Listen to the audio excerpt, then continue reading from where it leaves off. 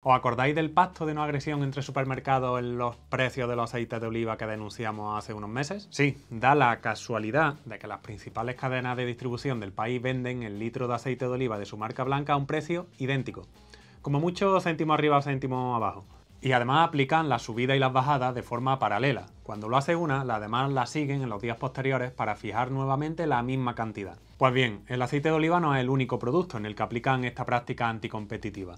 En Facua hemos detectado que este pacto de no agresión también se da en los bricks de leche entera, desnatada y semidesnatada, y en la sin lactosa, todas ellas de marca blanca. Esta manera de actuar la hemos detectado gracias a nuestra web super.facua.org, la página con la que vigilamos a diario la evolución de los precios de aceite de oliva, de girasol y las leches en seis grandes cadenas de distribución. El brie de un litro de leche entera en las marcas blancas de Mercadona, Día, Hipercor, Alcampo, Carrefour, Líder y Aldi cuesta en todos los casos 91 céntimos. Todas ellas también venden el litro de leche semidesnatada a 83 céntimos y el de desnatada a 80 céntimos. La única cadena donde no se produce esta misma situación es Eroki, que vende a 1,06 euros la entera, a 95 céntimos la semidesnatada y a 99 céntimos la desnatada.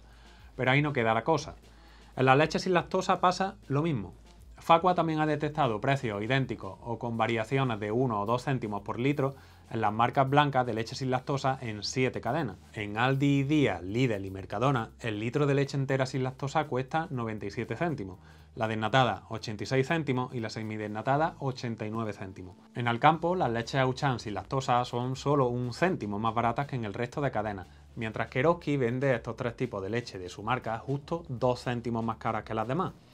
En la sin lactosa es Hipercor, la única cadena que se diferencia en sus precios con respecto a las otras siete. Tras detectar esta curiosa coincidencia de precios, no nos queda más remedio que ser mal pensado y sospechar que pudiesen existir irregularidades en los mecanismos de fijación de precios en los grandes supermercados de nuestro país. Por eso hemos pedido a la Comisión Nacional de los Mercados y la Competencia que abra una investigación para comprobar si estas subidas y bajadas paralelas de precios en las marcas blancas de leche estarían vulnerando la ley de defensa de la competencia.